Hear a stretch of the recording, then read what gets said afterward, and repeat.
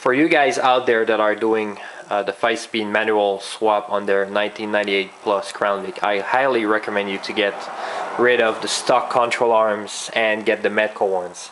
Uh, the reason behind this is really simple. Uh, the stock control arms will give you a lot of axle hop. Even if you're not drag racing the car, you're just driving it normally, they won't take the shock for years.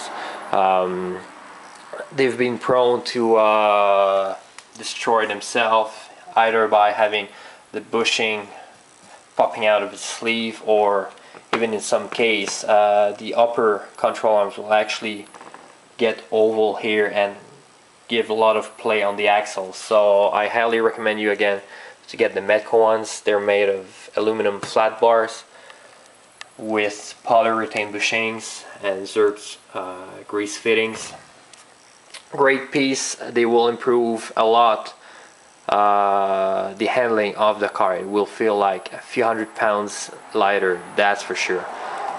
So these great control arms are available at adtr.net just contact Chris he will take care of you